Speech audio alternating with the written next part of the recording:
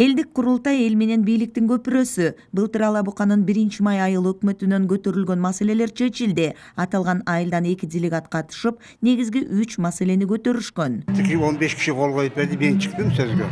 Ошол жерде өз көйгөйүмдү айтып президенттин атына андан кийин курултайга атайын кат тапшырдым ушул жерде көйгөйлүү маселелер боюнча анан ошо көйгөйлүү маселелерди тапшыргандан кийин биз ойлодук баардыгы аткарылат болот деп курултай абдан жакшы өттү бир миң жетимиш алты делегат катышты ошол делегаттардын абдан активдүү адамдар биз бир жолдо эле калдык да мен деген мен деген кыйындар барышыптыр абдан сүйүндүрдү экинчиси уюштурулушу абдан жакшы болду чек арага чектеш айыл аймагындагы ички көйгөйлөр жөнгө салынууда араб өнүктүрүү фонду аркылуу калктын социалдык шартына көңүл бурулууда ажык айылында фаптын курулушу жүрүп жатат тез жардам унаасы берилди жана тез жардам тейлөө борбору ачылды ушул фапка көчүп келгенбиз мурда баня болчу бул жер.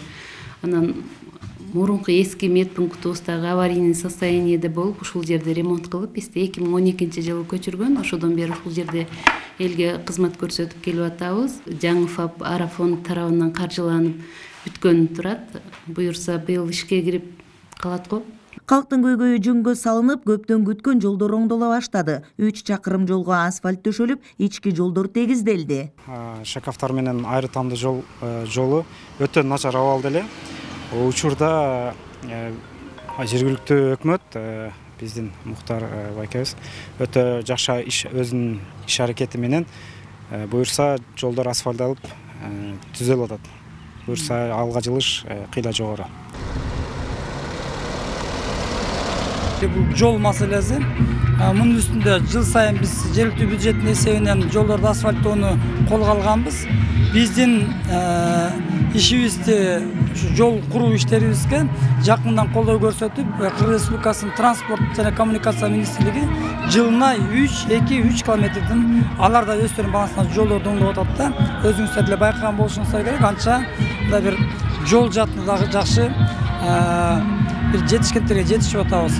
Ала бука районундагы биринчи май айыл аймагынан быйыл бир делегат шайланат. Бүгүнкү күндө делегаттарды тандоо туру уланууда. Он сегизинчи ноябрь күнү биздин өзүбүздө өкүлчүлүктүү жыйын болот. Жүз адамдын катышуусунда. Ошол жерде бир делегат шайлап беребиз.